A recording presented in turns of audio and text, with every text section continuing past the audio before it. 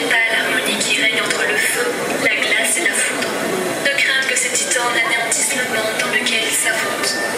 Même quand le légendaire gardien des abysses s'élèvera pour réprimer la querelle, s'il est seul, son chant échouera.